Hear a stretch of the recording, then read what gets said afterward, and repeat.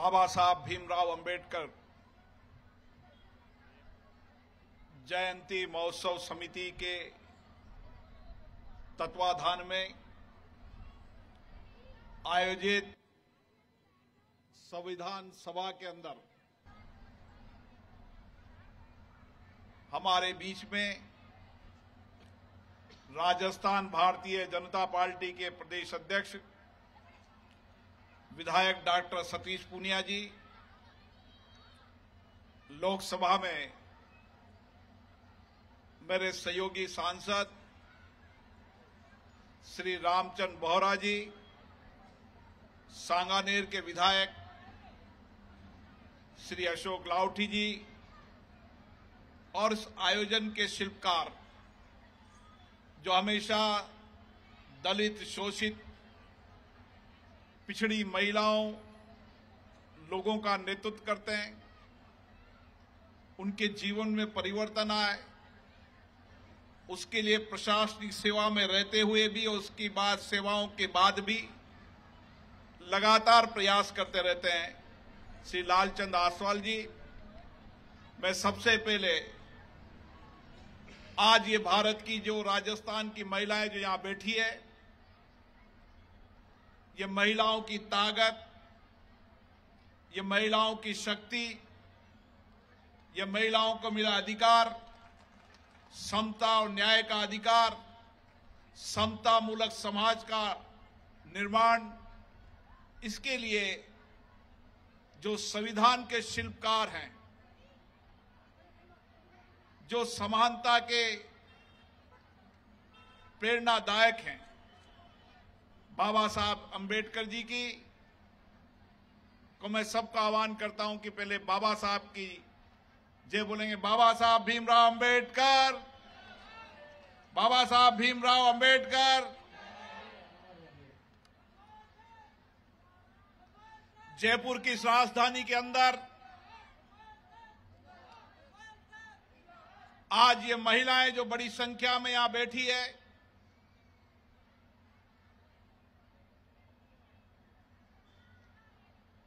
उन महिलाओं के अंदर इस समाज में नए परिवर्तन कर की आकांक्षा है, अपेक्षा है, और इस पिचहत्तर वर्ष की लोकतंत्र की यात्रा के अंदर जो महिलाओं के जीवन में परिवर्तन आया जो महिलाओं को समानता का अधिकार मिला वह बाबा साहब भीमराव अंबेडकर जी की देन है, जिन्होंने संविधान बनाने के पहले भी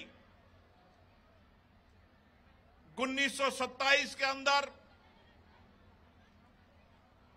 महिला शिक्षा के लिए संघर्ष किया महिला समानता के लिए संघर्ष किया। और आज़ादी के पहले जो महिलाएँ घर पर रहती थी, उन महिलाओं के जीवन में संघर्ष और संघर्ष के साथ नए निर्माण की अलग जगाई। और उसके बाद बाबा साहब भीमबेटकर, अंबेडकर जी ने आज़ादी के पहले बम्बई लेजिस्लेटिव असेंबली के अंदर महिलाओं के अधिकार, उनके काम करते समय, उनके स्वास्थ्य के लिए मैटर्निटी लीव के लिए, जिन्होंने उस समय आवाज़ उठाई, और जब उनको संविधान सभा का दायित्व दिया। तो दुनिया के अंदर अगर संविधान के अंदर सबको मताधिकार, सबको समानता का अधिकार लैंगिक आधार पर भेदभाव नहीं, जाति के आधार पर भेदभाव नहीं, सबको भारत के इस लोकतंत्र के अंदर अपने निर्वाचित प्रतिनिधियों के माध्यम से देश में प्रधानमंत्री कौन बने, मुख्यमंत्री कौन बने, उसके लिए मताधिकार दिया तो बाबा साहब अंबेडकर जी से शिल्पकार ने दिया। दुनिया के कई देशों के अंदर उस समय महिलाओं को मता का अधिकार नहीं था, वोट का अधिकार नहीं था। लेकिन बाबा साहब ने इन महिलाओं का संघर्ष आज़ादी के पहले भी किया। और इसीलिए आज़ादी की लड़ाई के अंदर भी अठारह सौ सत्तावन की क्रांति भी इस भारत में महिलाओं ने नेतृत्व करके की। और इसीलिए आज इस पिचहत्तर वर्ष की लोकतंत्र की यात्रा के अंदर हमने ये परिवर्तन देखा है कि आज भारत की महिलाएँ, चाहे शिक्षा हो, विज्ञान हो, सामाजिक क्षेत्र हो, तमाम क्षेत्रों के अंदर आज नेतृत्व कर रही है। लेकिन अब समय आ गया है कि इस महिला की कोख से पैदा होने वाले हर बेटी जो उस समय बाबा साहब ने कहा था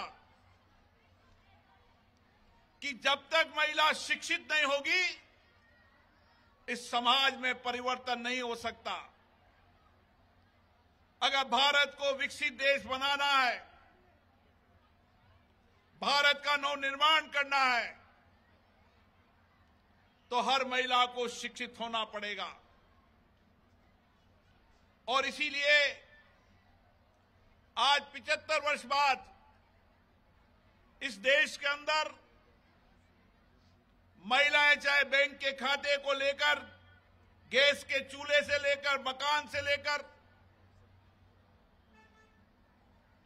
सेल्फ हेल्प ग्रुप बनाकर स्वावलंबन आत्मनिर्भर से लेकर, और किस तरीके से महिलाएँ आत्मनिर्भर हो सके भारत के प्रधानमंत्री जी ने एक नई दिशा तय करने का काम किया। और इसलिए अब आपकी ज़िम्मेदारी ज़्यादा है।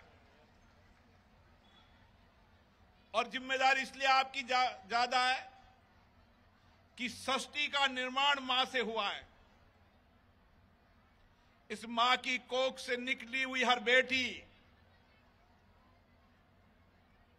यह हमारी ज़िम्मेदारी होना चाहिए।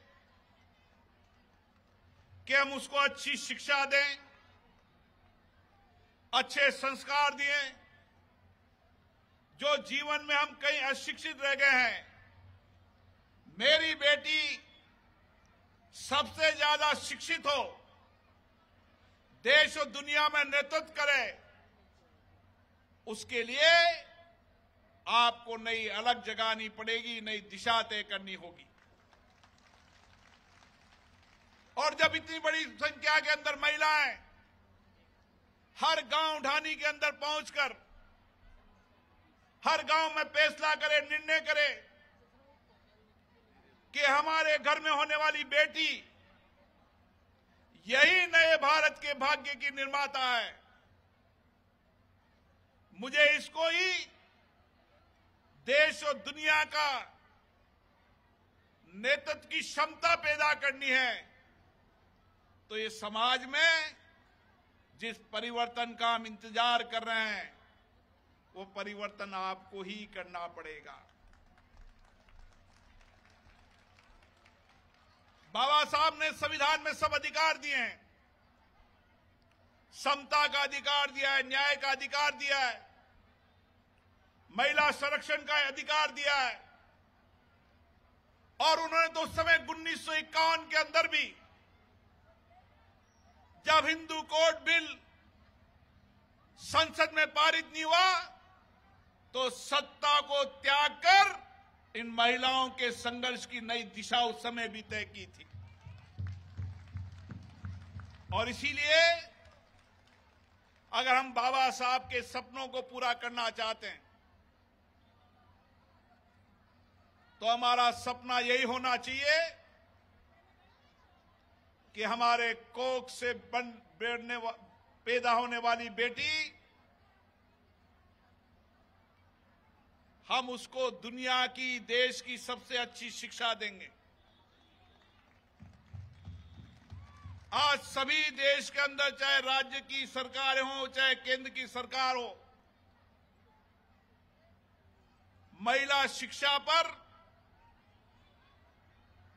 कानून के तहत भी अधिकार है।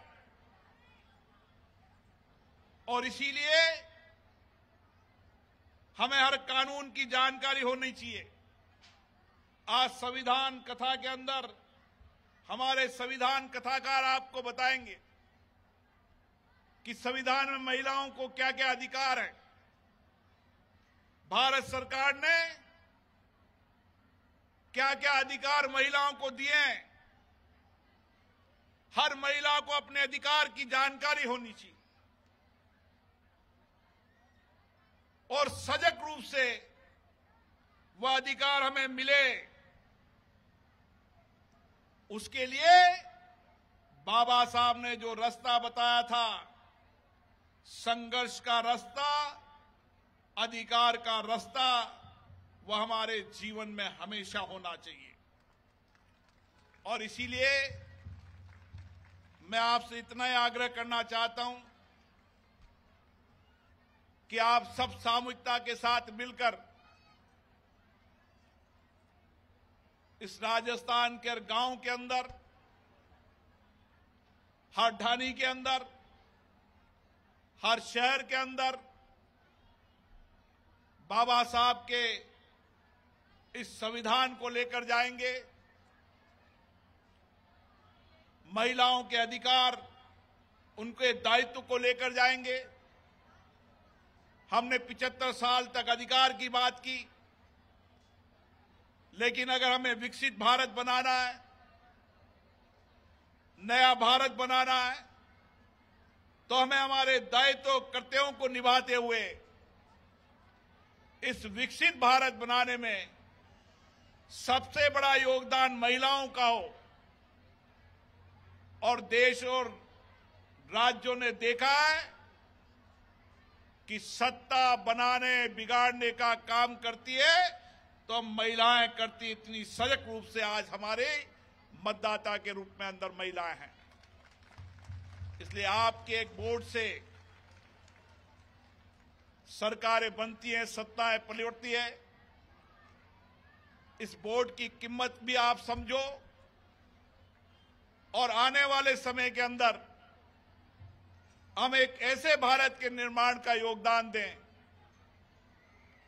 एक ऐसे विकसित भारत का निर्माण का योगदान दें, जो प्रधानमंत्री जी ने लाल किले के मैदान से देश की जनता को आह्वान किया है।